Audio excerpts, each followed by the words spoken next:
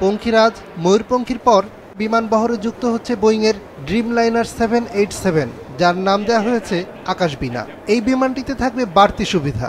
সমুদ্রপৃষ্ঠ থেকে তেতাল্লিশ হাজার ফিট উচ্চতায় ওয়াইফাই সুবিধা ভোগ করতে পারবেন এবং একই সাথে বিশ্বের যে কোনো প্রান্তে তাদের প্রিয়জনের সঙ্গে টেলিফোনে আলাপ করতে পারবেন। ক্লাসিক থেকে শুরু করে ব্লকবাস্টার, যে কোনো মুভি তারা সেখানে এনজয় করতে পারবেন, তার পছন্দের গান শুনতে পারবেন ভিডিও গেমস খেলতে পারবেন এবং উইন্ডোতে কোনো শাটার থাকবে থাকবে না বাট সেখানে কন্ট্রোলেবল ডিম লাইট থাকবে, যেটাকে সুইচ দিয়ে যাত্রীরা পছন্দ অনুযায়ী জানালার কালার এবং লাইটিংটা চেঞ্জ করতে পারবেন।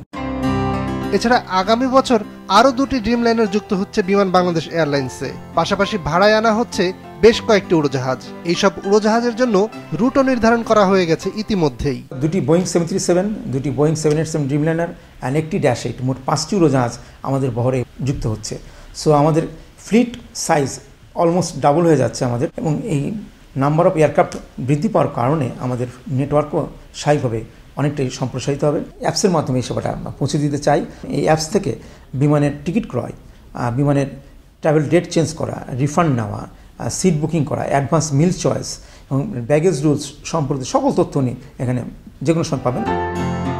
এখন এশিয়া ও ইউরোপের চোদ্দটি গন্তব্যে যাত্রী সেবা দিচ্ছে বিমান।